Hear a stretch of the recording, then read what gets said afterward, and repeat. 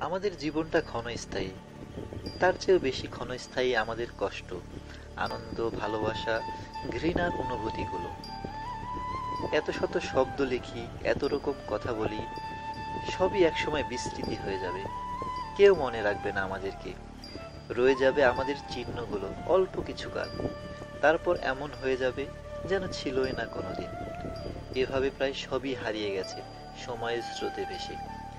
আমাদের এইসব প্রচেষ্টা, এইসব ভাবনা, এইসব লেখালেখি হয়তো কিছুই নয়। হয়তো এগুলো কেবলই হারিয়ে যেতেই জন্ম নিয়েছে। আসল তো হলো বুকের ভেতরের ছোট্ট মাংসপিণ্ডটি, যে সৃষ্টি করে ভাবনা, ভালোবাসা, ঘৃণা, ক্রোধ, উপহাসের শব্দ, অনুভূতিগুলো। ওটা নিয়েই সবাই চলে যায়। ওটাতেই প্রতিফলিত হয় আমাদের ভবিষ্যৎ, অনন্তকালের ভবিষ্যৎ।